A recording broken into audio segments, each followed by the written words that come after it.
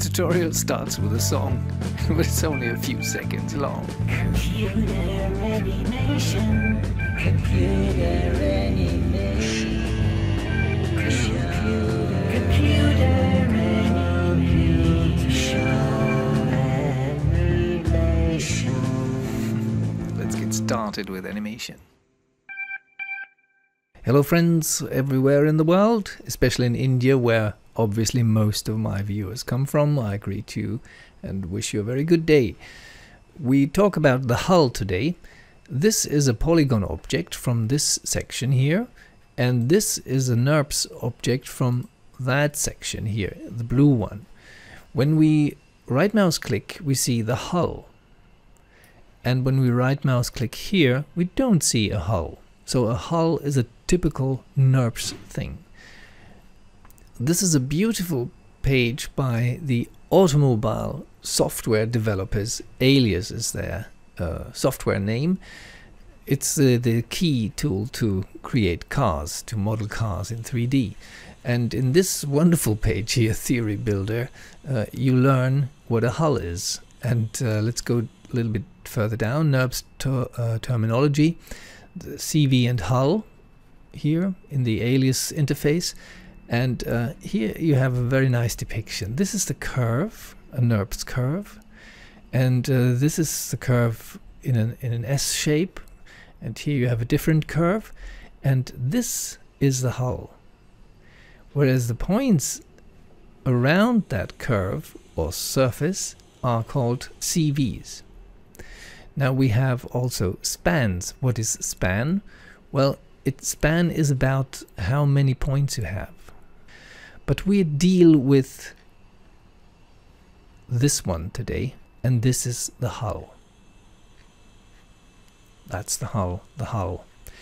It's not on the surface or on the curve, it is around, it spans the curve or the surface. Now when we display the hull, right mouse click hull, we see exactly what we just seen before. And um, when we click here, we don't see the hull, but we see the edge. And when we select the edge and we click here, we select one part of this geometry directly on it. And when we double click it, it's a bit hard to see, but you see it goes all around It's called an edge loop because it loops all around that surface. Here it's not on the surface, it spans around that surface. It, it is basically the machinery, the cage, which makes our very nice object. And when you click here, you select one hull. This is the hull here. And when you scale it, this is how it works. When you select this one, it goes all around. It's like the edge loop, but only from that top to the bottom here. And when you scale that, this is what you get. Or you can move it out. Or you can additionally click the hull here with a shift key and then do modifications like these. Actually, before we leave this, here I show you the control vertices. They go around that surface. They're not on the surface. Whereas in the polygon world, you do have vertices which are sitting on that surface. So you can actually move this one out. This is impossible with a NURBS curve. With a NURBS curve, you need to select CVs and the you can move the CVs obviously, but uh, you need a lot of geometry to get a sharp edge like this. It's about the smooth flow of surfaces here. Now, a typical application is this. A wheel of a car, for example. It's a torus, that's a NURBS torus, and I want to rotate it, so I press the key E, and I press and hold J, that makes the rotation in segments, so I can easily reach 90 degrees, so it's totally vertical now. Let me give you uh, the material this blue shader here. Now I want the torus to look a little bit more like a tire. When I right mouse click and go to hull, I see this prominent hull here spanning around the main axis of the object. When I scale it down now, I almost get something which resembles a tire. And this is one approach which you should keep in mind. Make things as easy as you can. Let me undo this.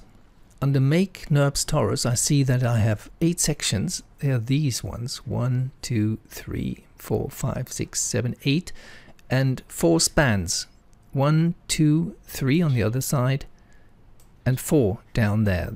They are the spans. So the spans make the hulls which we need in this case. So let us introduce instead of 4, 8. Now what we do is we select the hull and now you see we have lots of more hulls here.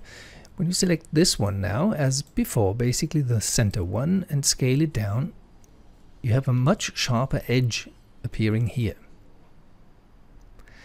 And you can select this one, and with the shift key that one, so two hulls at the at the side, and when you scale them out or in, you can create quite a nice topology for a wheel. Now I scale it out and I go to the inner one, that one, and scale it out. Now you have quite an interesting wheel here. If you need a sharper edge right here, you would have to start with 10 or maybe 12 spans here. But this is a matter of consideration what you need it for. In a computer game probably where you see a car from a distance, you don't need that detailed tire. Keep the topology of your surface as simple as possible because A, it's easier for you to work on it and B, it's much more light to export such a, such a thing into a computer game, make it a polygon mesh, for example, than when you have a very complex geometry. So, and the hulls are an excellent tool to make quite drastic modifications, uh, which are easy to see. Have a nice day. Bye bye.